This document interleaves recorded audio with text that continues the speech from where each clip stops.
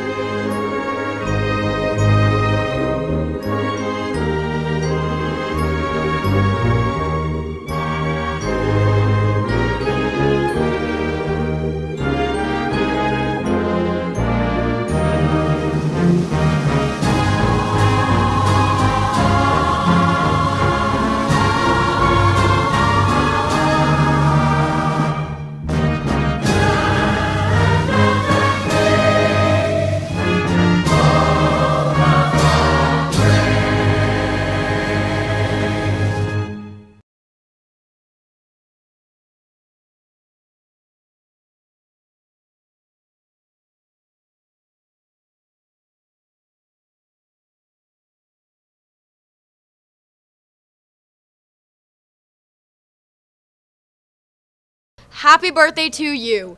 If your birthday is January 5th to the, to the 11th, come to the main office and choose your birthday sucker from pack.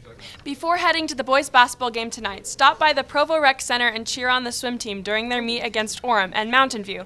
The meet starts at 3:30 and will end by 6:30. Admission is free. It's senior night, so we'll be honoring our seniors, Maria Griffiths, Donnie Welker, and Heater Roberto.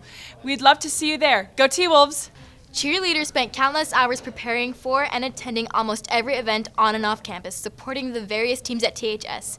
T-Wolf TV's Ali Misbach spoke with the cheer coach Janessa Reynolds about what they do at competitions and how it works. Hello T-Wolves, I'm Janessa Reynolds. I am the cheer coach. And I just wanted to talk about a little bit about your cheerleaders and all the hard work that they do. So besides just cheering at the games, they work all year long on a competition. And we compete at four local competitions, cheer competitions, where the girls put together a two minute and 30 second routine.